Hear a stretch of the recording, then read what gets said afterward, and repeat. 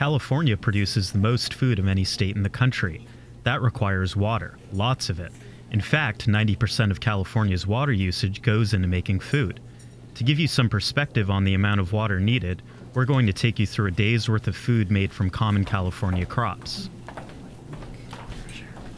Hi, I'm Sarah. I'll be your server for today. Let's start with breakfast. We have dairy milk and almond milk.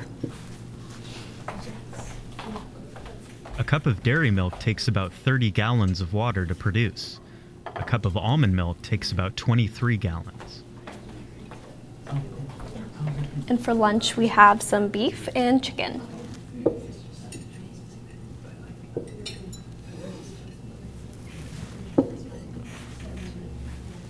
A half pound of chicken needs about 253 gallons. A half pound of beef takes around 922 gallons.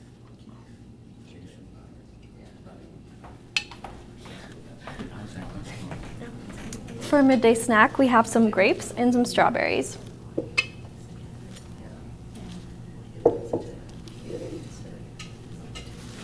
Enjoy. 10 strawberries require about 4 gallons of water to grow. For 30 grapes, it takes about 9 gallons of water. And for dinner, we have a tomato and walnut salad.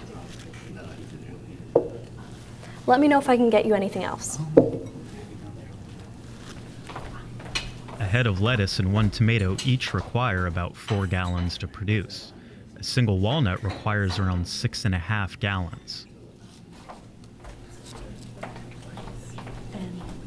I'm just going to leave this here for you. Thanks so much for joining us. Come again soon.